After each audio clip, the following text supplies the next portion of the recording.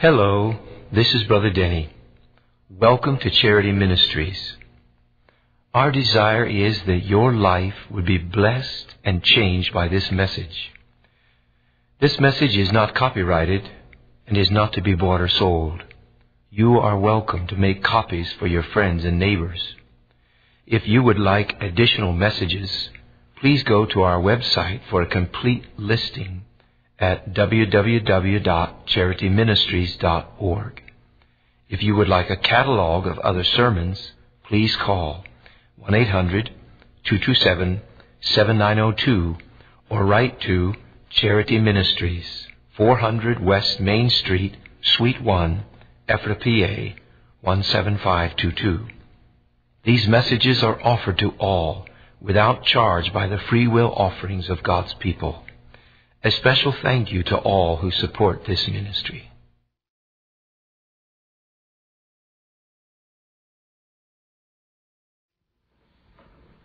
Well, that song says it all in a nutshell, doesn't it? Whole thing. God bless all you little birds this morning.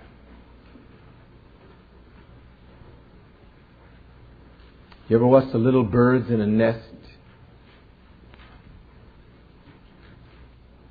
How many of you ever noticed that the little bird with his mouth open the widest is the one the mother drops the worm in? Did you ever notice that?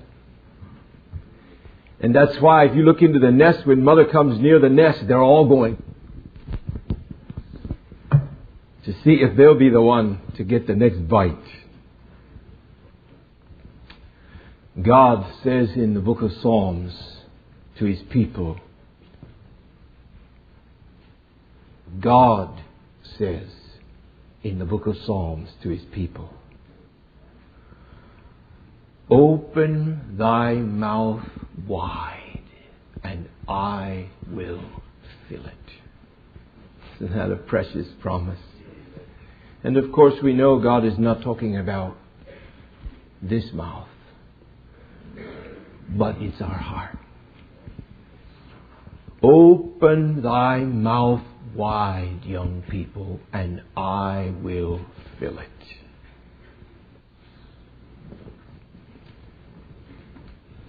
Shall we pray? O Lord, we bow down to Thee this morning. We come in the name of Your Son, precious Lord Jesus. Lord, we come crying to You. Not just me, Lord, all of us. We come crying to You, Lord. Oh, would You teach us, Lord? Would You teach us about the home? Would you give us homes like that song that we sang, Lord? Oh God, would you help us, I and all these dear young people, to dream about our homes this week, Father? Would you help us to do that, God, and somehow impart unto us a revelation that we will never be the same, God. This is our prayer, Lord. Have mercy on us, all of us. Have mercy on us, Lord. We stand in need. We pray in Jesus' name. Amen.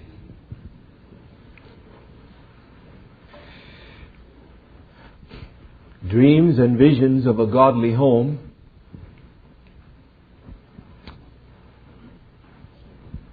This is the burden that God laid on my heart to bring at Bible school.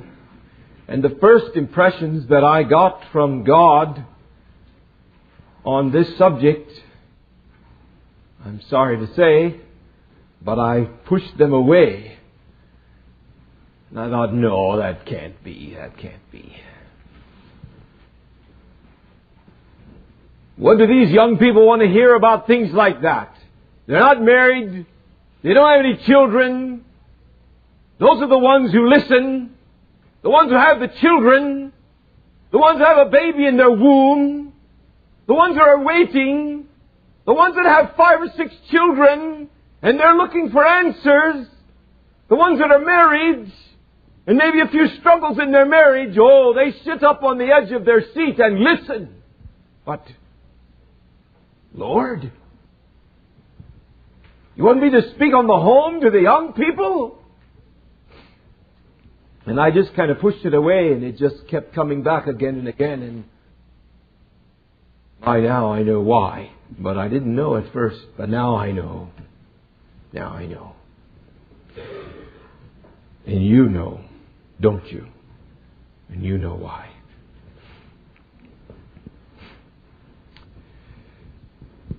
This morning, the title of my message, this first message of five, is we're going to call it Holy Dreams and Visions. Holy Dreams and Visions, and spend most of this session on the principle of having holy dreams and visions. Because we must have them. We must. As God got through to my heart and began to convince me of the importance of this subject to be given to a bunch of young people, none of whom are married, I realized that you are 400 young people who have come looking for a vision. I realize that. You read the little programs. You read the invitations. You know what kind of Bible school it is. You came looking for a vision. And I'm glad for that, that you're here that way. I'm glad that somehow God puts into the heart of young people these kind of things in the stages of life that you're in. You're here. Your youth. And these are the kind of things that go on inside of your hearts, and I know it. Where am I going? What do I believe? What will I do with my life? What is right and what is wrong? All these things go through young people's hearts. And it's a very natural thing because you see, even the things that your father and mother have taught you, even the things that you've learned from your pastors, all of those things must be assimilated into your heart and come out of your life as your own convictions. And so there needs to be that process of filtering all of that out and coming to a point of decision. Well, surely we do well if we would give some attention to one of the most important aspects of your lives for the rest of your lives. Your homes. I also know that young people long for higher ground. They, they want a standard to reach for. Give us an ideal to pursue. We want one. Most of your parents not all, but most of your parents caught a vision of something a bit late. A bit late. And maybe it was born out of failure.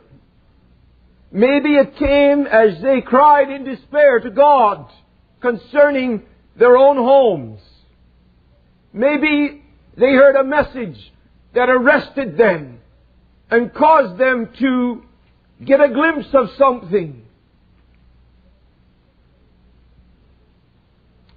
And many of us parents have been stumbling down a road towards something that we see. And we brought a lot of baggage along. And you know that. I'm sure that you, young people, have seen a lot of failure concerning the subject that we're going to talk about this week. I'm sure of that. I know that the young people that live in my house have seen a lot of failure. concerning this subject that we're going to talk about. But somehow your mom and dad just keep getting up again, don't they? Why? It's because they see something. They have seen something. And there's something that they want you to have. That's why they keep getting up. It was all for you. It was for you and it was for God, but it was for you. They got a glimpse of something. They took off down the road. I know they stumbled a lot. I know they made many mistakes. Maybe some of you, even as you're sitting here today, you have misunderstood your parents. Maybe some of you have reacted to their failures and some of you may even have bitterness in your heart. Even as you sit here today, there's a disgust in your heart over the failures of your father and mother, but I want to make a plea for them this morning. Have mercy on them. They saw something. And they caught it late in life. And they all wish they would have heard it 15 years ago. But they didn't. And so they've been stumbling down a road after something. But you know what that thing is that they're after? They are after something for you to possess. That's what they're after. It has to do with you. It has to do with your partners someday. It has to do with your children. That's what they've been stumbling after. And though there have been many failures, they just keep getting up. They just get up again because they have seen something, young people. Don't misjudge us. Don't misjudge us. We saw something. And we want it for you. And maybe the goal is 10, and we only reached 5. But young people, just grab the torch at five and go for ten. Amen. Go for ten. Okay, so we only reached five. But we saw something. And what we saw, we wanted it for you. For you.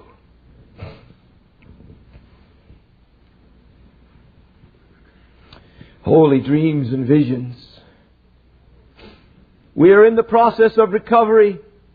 Something was lost a couple of generations ago, and we are seeking to recover it, and you all are in that process of the recovery of those things that were lost maybe two generations ago. For many of us, not all of us, but for many of us, it's a process of recovery, and you, whether you like it or not, you are in the middle of that process of recovery of some very beautiful things that God has for you. The bottom line fact is this, twofold. Number one, most of you will get married someday. Most of you will get married someday. What kind of a home will you have? Or you may sit back and say, boy, mom, dad didn't do too well and I'm kind of grieved at some of the things that we went through and maybe even got spanked more than you should have. But the bottom line fact is that most of you in this room are going to get married. And then what kind of home will you have? Soon it will be your turn. I guarantee you, your attitude will change as it becomes your turn. You will find out it wasn't all just quite that easy. You will find out that it was much more than just having good ideas. It takes the rigors of a spiritual life to live it out. And so soon it will be your turn. What kind of home will you have? What kind of home do you want? That's even a better question this morning. What kind of a home do I want? Bottom line fact number two. What you see and what you do with the next five years of your life will determine what kind of a home you have. I want to say that one again so that you'll get on board right away.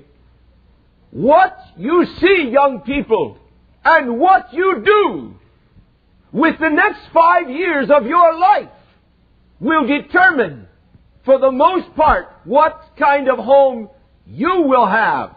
And you may sit here today and say, Ah, no, Brother Denny, I'm not planning to get married for four more years, and so, you know, I've got things I'm going to do, and then when these four years are over with, then I'm going to get married, and then I'll start on my home.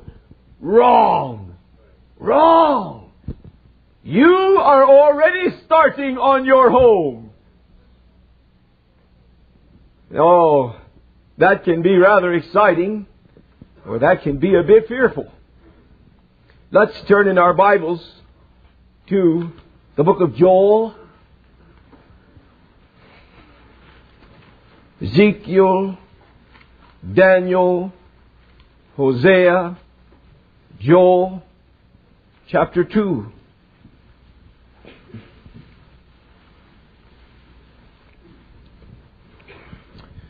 In Joel chapter 2 and verse 27 through 29, we find these prophetic words, And ye shall know that I am in the midst of Israel. That's God speaking. And ye shall know that I am in the midst of Israel, and ye shall know that I am the Lord your God, and none else. And my people shall never be ashamed. Brother John spoke to us about being ashamed. God says, My people shall never be ashamed. And it shall come to pass afterward that I will pour out my spirit upon all flesh, and your sons and your daughters shall prophesy. Your sons, God says, and your daughters shall prophesy. Your sons that are sitting on this side of the room shall prophesy. That is, speak forth the mind and will of God under the anointing of the Holy Spirit. Your daughters shall prophesy. That is, they shall speak forth the mind and will of God under the anointing of the Holy Spirit. Your sons and your daughters will prophesy, saith God. And your old men shall dream dreams, and your young men shall see visions. And also, upon the servants and upon the handmaidens in those days will I pour out my Spirit. Now, dear young people, we are living in the age of this prophecy. Even as you sit here today it is the will of God, I promise you, it is the will of God that every single one of you be so filled with God that when you open up your mouth, words come out which are anointed by God. That is the will of God. We are living in that age where this beautiful kind of grace is being poured out upon all those who will receive. It says here in this verse that the old men will dream dreams and the young men will see visions and I'd just like to key in on that for a little bit this morning and talk about it with dreams and visions. Now I believe that you, God speaks through dreams.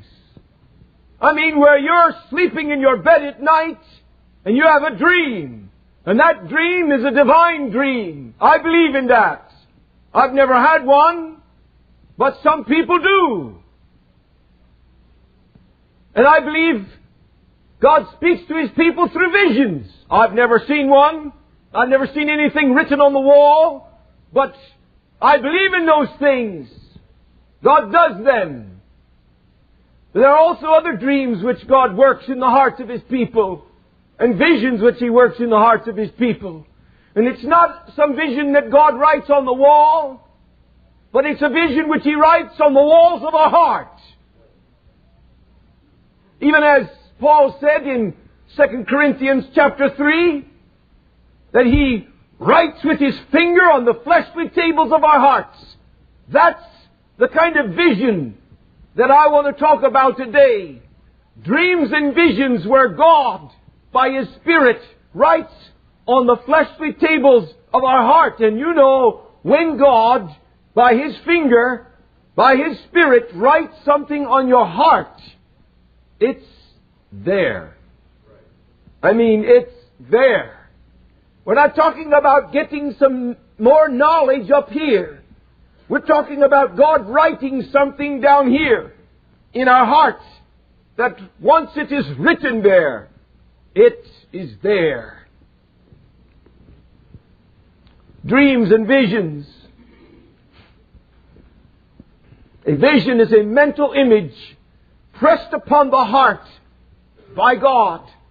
A mental image impressed upon the heart by God. It is that which you see with the eyes of your heart. Now, young people, if you have been born again by the Spirit of God, you now have two sets of eyes. You have eyes which are in your head, and you now have eyes which are in your heart. And I don't know if you've realized it yet, but you have the potential to see way more with the eyes of your heart than you could ever see with the eyes in your head. Way more. Fanny Crosby is such a beautiful example of that. She was a dear blind woman. She couldn't see very much. Only a few memories of her little childhood. But, oh, what she saw with the eyes of her heart have thrilled the church for over a hundred years. And oh, overflowing out of her heart and her life have come so many beautiful hymns which she saw with the eyes of her heart, young people.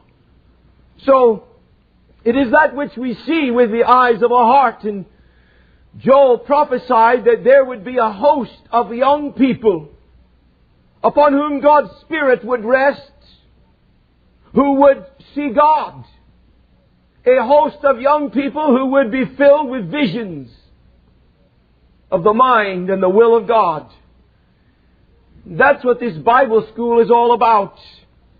We desire to fill your heart with visions of the mind and the will of God for your lives. And our prayer, all of us who are involved, who are the older ones that are here, that is our prayer.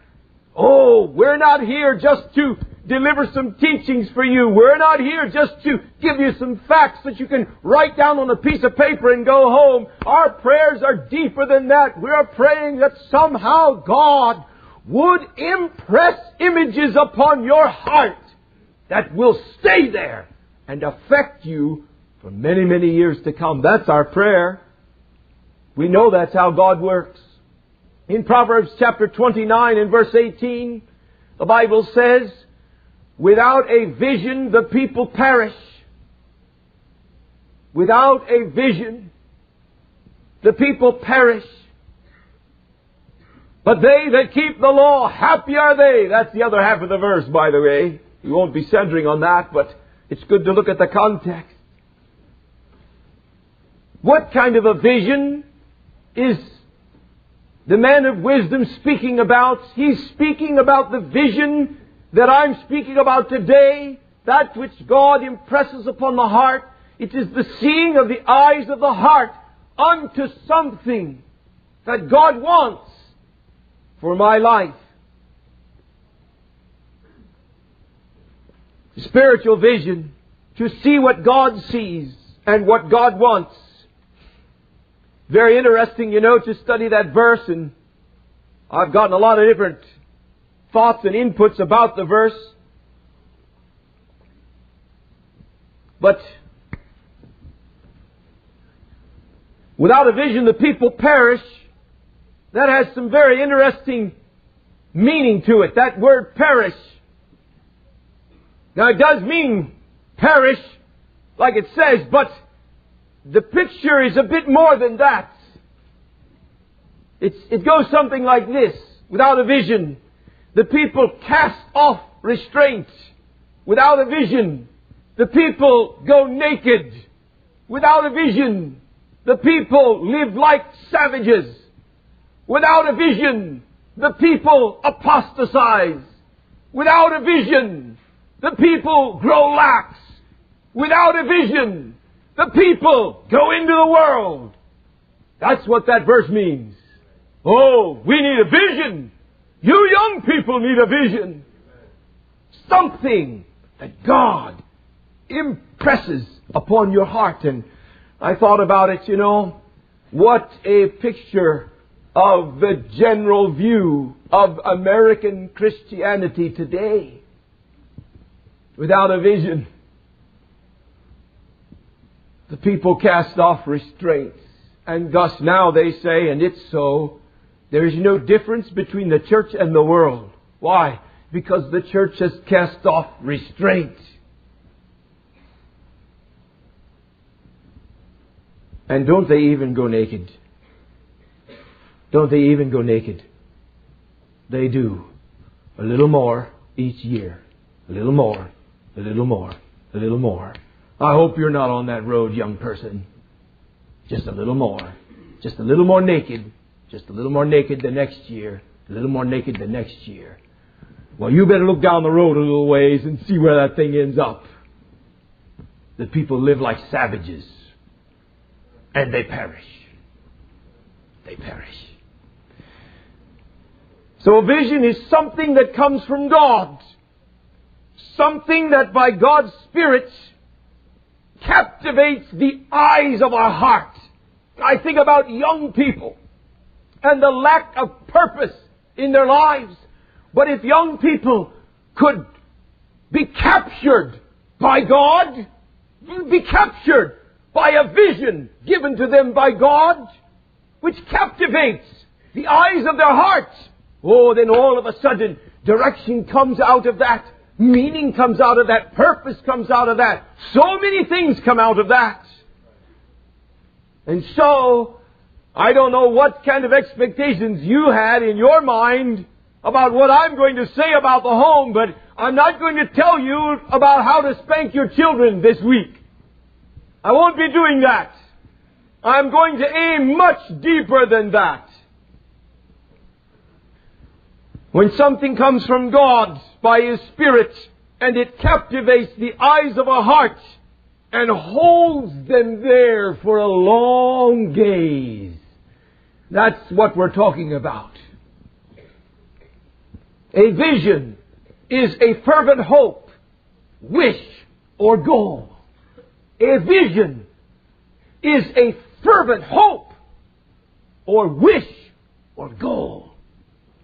Interesting, you know, as I was meditating and preparing for these messages, again I looked up the word dream in the Hebrew. It was a very revealing uh, study. The word dream in the Hebrew, it means to make healthy and to be strengthened. And I thought about that now. Wait a minute, that doesn't make any sense. But then if you think a little longer and you realize, yes, that does make sense. When God puts a dream in my heart, it does strengthen me. When God puts a vision in my soul, it does make me healthy. It begins to make me whole. It has a positive effect upon me when God puts a dream, a longing, or an aspiration.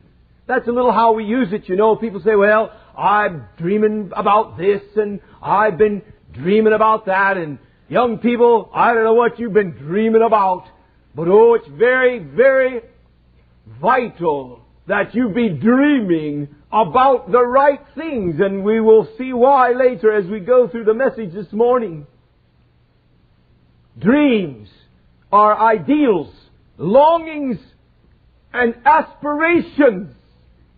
And my goal, by grace through faith, is to fill the eyes of your hearts with fervent hopes and wishes and goals, and to fill the eyes of your hearts with ideals and longings and aspirations. That's my goal. By grace through faith. That is my goal. We are seeking a generation of young people who have a vision which has been imparted by God in their hearts. A generation of young people who march to the beat of a different drum.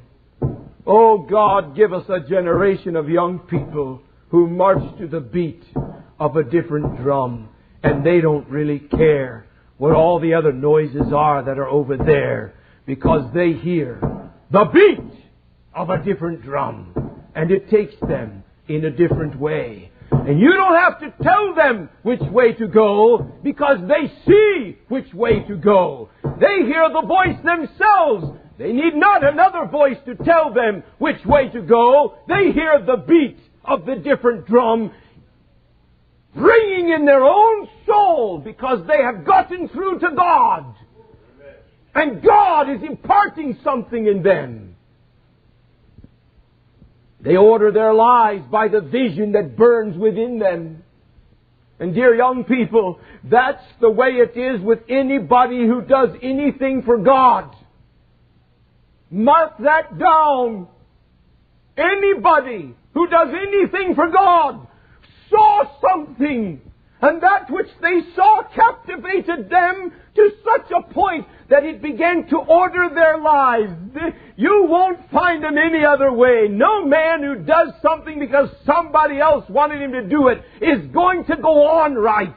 But the one who sees will move ahead and God will direct his steps by what he sees.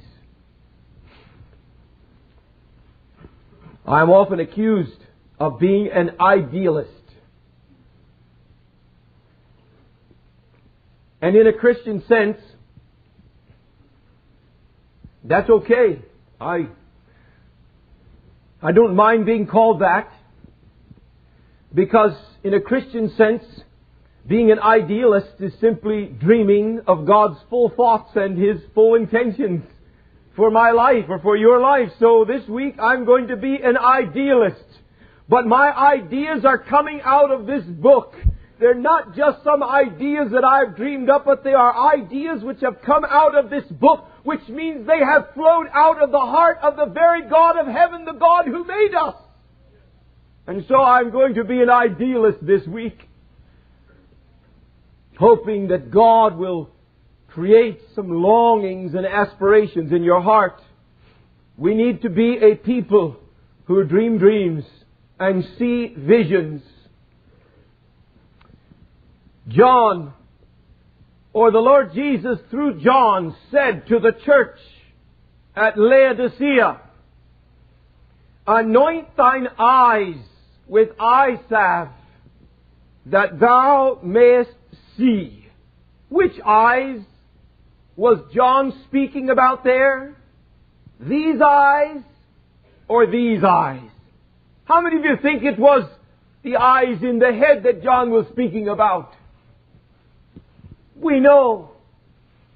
John said to the Laodicean church, you can't see anymore, Laodicea. You have lost your vision and you can't see anymore. And John knew and Jesus knew that destruction was down the road just a little ways and he pleaded with them to anoint the eyes of their heart with eye salve that they may see again.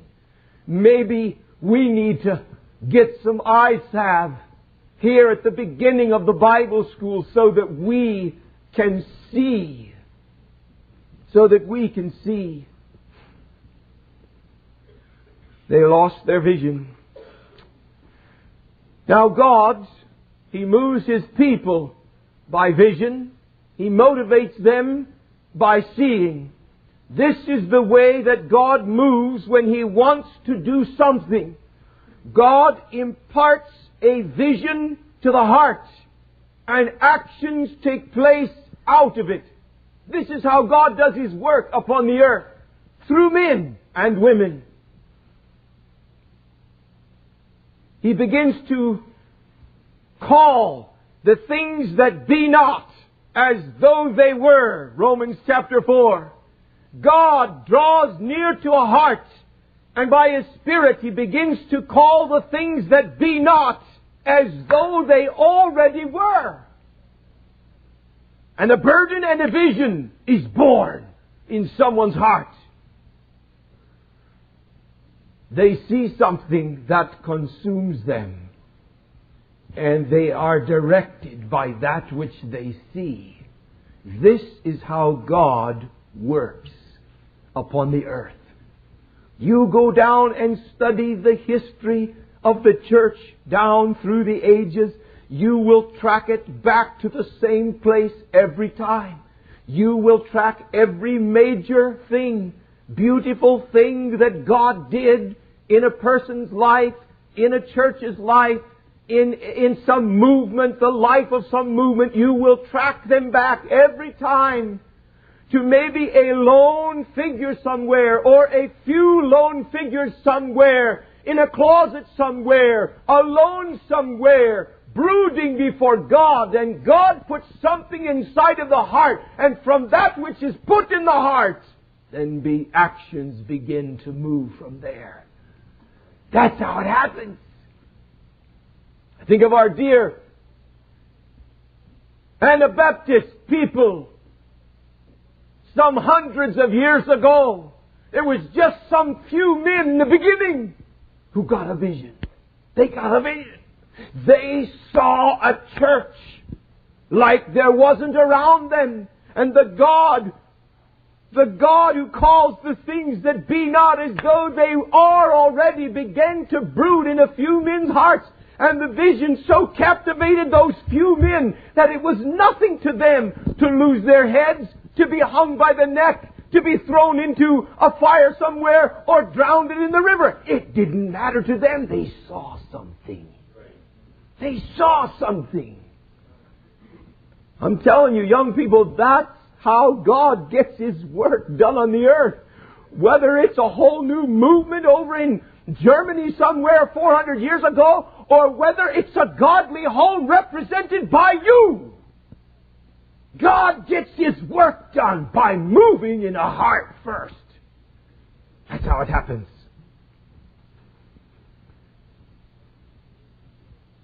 Twenty years ago, I visited a little home up in Canada where a family lived named John Gerbers. I visited there 20 years ago. And I haven't been back there for 20 years. I was just there last, this last summer. 20 years since I was there. But that little visit that I made at that home, God wrote something in here, inside my heart. See? And I walked away from that home, and I had seen something. I saw something, young people. I saw it with the eyes of my heart, and my heart said, I want that. Lord, I want that. I will have it. I will have it. By God's grace, I will have that. I saw something. And I went home. And got my two little children. That's all I had then. Just little Daniel, two years old, sitting in the crib sucking on his thumb. And little Rebecca sitting over there in her little baby chair in the other side of the room and Papa in there trying to have devotions. I never had devotions before. I didn't know how you do it.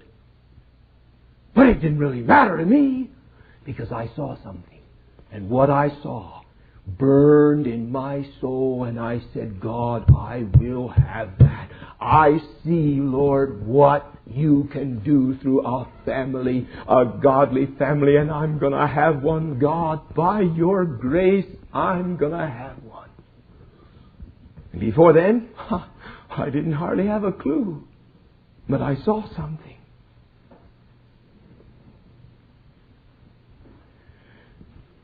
I received a divine revelation that day 20 years ago. That's what I received. And I pray that somehow God will give you a divine revelation this week. That you will also go away and say, and look back to and say, I saw something at Bible school, and I have never been the same.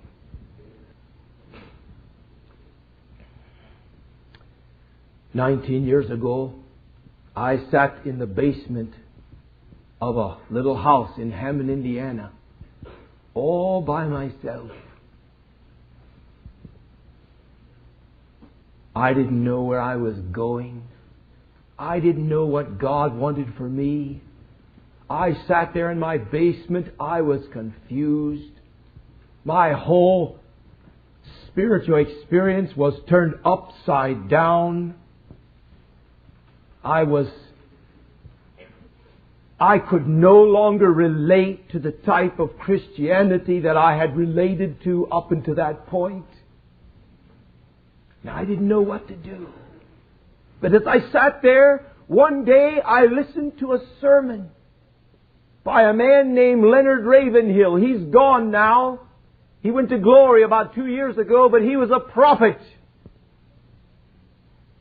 And that man mentioned a book he called it the Pilgrim Church. It was just a little passing phrase in a sermon. And he said, that's the most inspirational book on church history I ever read. And I thought, now I know who that man is who's saying that. That must be a good book. And I went and found that book. It was 500 pages long. And I got down there in my study down in the basement and I opened this book and I started reading it. And I saw something in that book. You see, I was sitting there thinking, I don't know what I am anymore. I don't fit in anymore in the typical evangelical church the go to church on Sunday, watch TV on Monday, the Super Bowl on Sunday afternoon. I just don't fit into this thing anymore. But I don't know what I am. And I started reading that book. And I read a few pages. And then I wept. And I read a few pages. And I wept some more because I, in that book, I saw me. I said, Lord, that's who I am. I don't know if there's anybody like that anywhere, but that's who I am. I'm like that pilgrim church. Down through the ages, in love with the Lord Jesus, in love with His Word, a commitment to do what it says, no matter what the cost. Back 19 years ago, I was a real fruitcake. But I saw something. I saw something back there. And I'm seeing something here today. Far beyond anything I ever dreamed when I was back there in that basement reading that book. But I saw something. What do you see, young people? What do you see? Understand this. God precedes the reality of what He is going to do with a vision. Always. God precedes the reality of what He's going to do with a vision. What do you see? If you see, you will have. Do you believe that? Oh, that's very exciting if you're seeing the right things. If you're dreaming the right kind of dreams as a young man, as a young woman, if you're dreaming the right kind of dreams and you're seeing the right kind of visions, that is exciting because what you see, you will have. God precedes the reality with a vision. This is the way I want you to go. Okay, Lord, I'm going to follow you. What do we see today? Five years from now, you may have what you see today. And that can be rather discouraging depending on what you're seeing. You know, maybe, young men, maybe you see some shiny truck with his wheels on it, you know, vroom, rolling down the road, and, and still the, the sound of the vroom thrills your heart like it did when you were a little boy playing on the carpet. Maybe that's what you see. Well, my dear friend, that's what you'll have in five years. But I tell you, if you could look at it from God's perspective, it isn't anything different than that little toy you had in your hand when you were a little boy.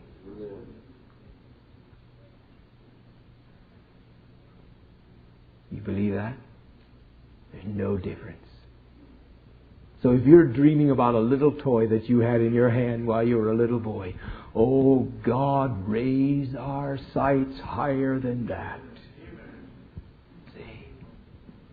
Because what you see, you will have in five years. You say, well, Brother Denny, I don't see. You're right. I don't see. It's all right. God can change that. You just open your heart. You just open your heart. You say, okay, Lord, here I am. Here I am. And I open my heart to you, Lord. I want you to impart in me a proper vision this week. God will hear the cry of your heart.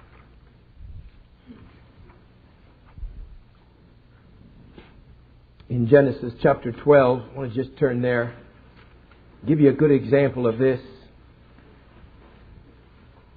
so that you don't wonder, am I dreaming something up? In Genesis chapter 12 and verse 1 through 4a, this very thing happened to Abraham. This very thing we're speaking about, it happened to Abraham. And it can happen to you, and it must happen to you, by the way. It must. Maybe not in the sense that it did with Abraham. Now the Lord had said unto Abraham, Get thee out of thy country, and from thy kindred, and from thy father's house, unto a land that I will show thee, and I will make of thee a great nation, and I will bless thee, and make thy name great, and thou shalt be a blessing, and I will bless them that bless thee, and curse him that curseth thee, and in thee shall all families of the earth be blessed. So Abraham departed as the Lord had spoken unto him. That's far enough to read. Abraham got a vision. God gave Abraham a vision of his future. He called the things that be not as though they already were. And Abraham responded to that vision with obedience. With obedience. It affected his life. What he saw affected his life. And what he saw, God gave to him. What he saw, God revealed it in his heart. And what he saw with the eyes of his heart, down the road a few years, he saw the reality of much of it. Not all of it, but much of it he saw with these eyes. And some of it he didn't see till many years later as he was in glory with God. But he saw it. He saw it all. The fulfillment of all that God said to him. Turn with me to Ephesians chapter 1. I want you to see this principle in the New Testament. The Apostle Paul knew that God moves through what we see. Paul knew that. He knew it from his own life. Just like he said to the king, I was not disobedient to the heavenly vision that God gave to me.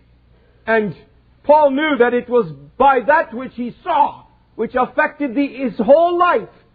And that which he saw, he continued to see, and it continued to guide him all the days of his life. But in Ephesians chapter 1, he's speaking to the church at Ephesus, and he knows, he knows that they also will be affected by what they see with the eyes of their heart. And so he tells them, Oh, I'm rejoicing in all that I hear that is going on there. But as I rejoice, I pray. I pray for you. What am I praying for you? In verse 17, I'm praying that the God of our Lord Jesus Christ, the Father of glory, may give unto you the spirit of wisdom and revelation in the knowledge of Him. Oh, I'm praying that God will give you His Spirit and His Spirit will reveal to you the knowledge of Himself first. First. And that's where it must begin.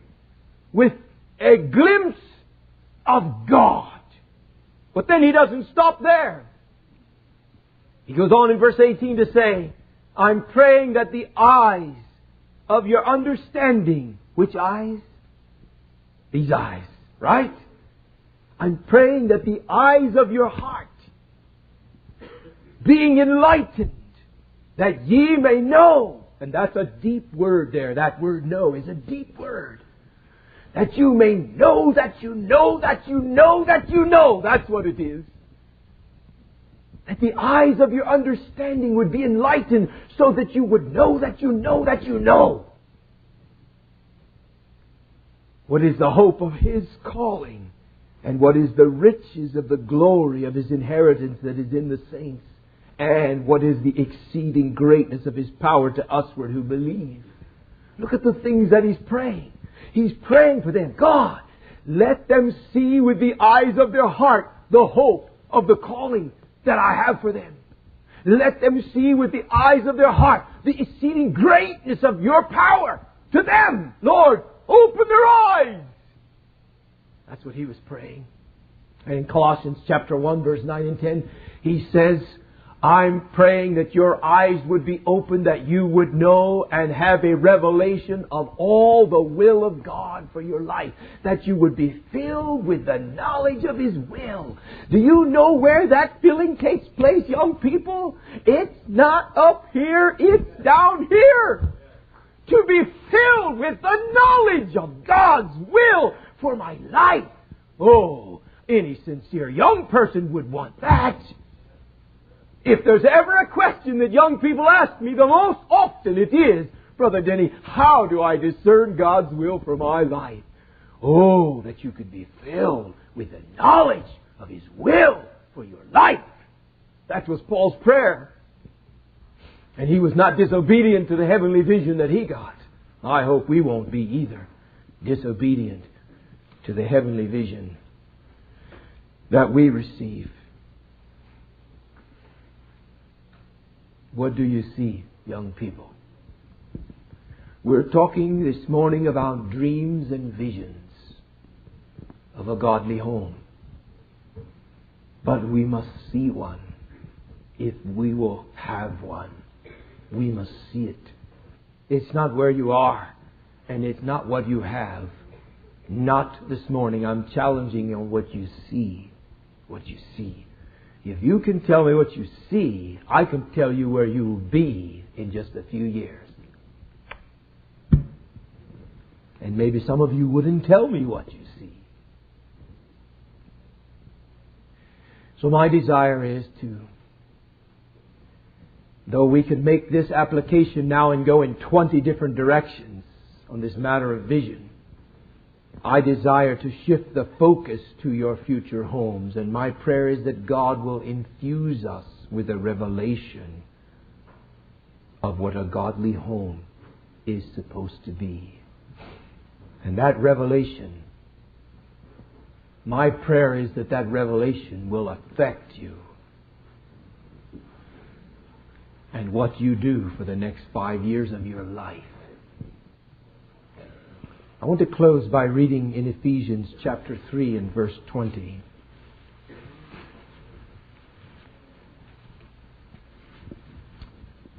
We'll read verse 20 here, and then I want to give you my little paraphrase of chapter 3, verse 20.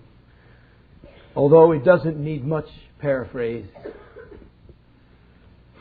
Paul, speaking to the church at Ephesus, after he's been speaking of some beautiful things that he wants God to do in their lives, he says, Now unto him that is able to do exceedingly abundantly above all that we ask or think, according to the power that worketh in us. Now unto him who is full of power, Paul says. Unto him who is full of power, who is able to do exceedingly, abundantly, above all that you ask or think, ask or think, far beyond our highest prayers, desires, thoughts, hopes, and dreams. Unto Him who is able to do far beyond our highest prayers, desires, thoughts, hopes, and dreams. Unto Him be glory in the church by Christ Jesus throughout all ages, world without end. Amen. We serve that God, young people. This is the God who saved your souls, and He is full of power. Full of power. Shall we stand to our feet for a prayer?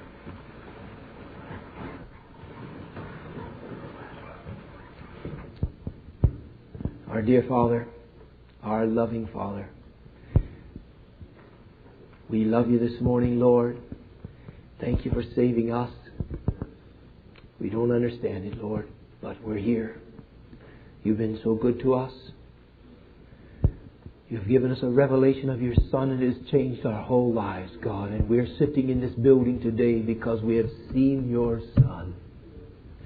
Oh, but now, God, to be filled with the knowledge of your will concerning our homes, Lord. Most of us in this room we're going to get married, Lord. What about our homes, God? What about our homes?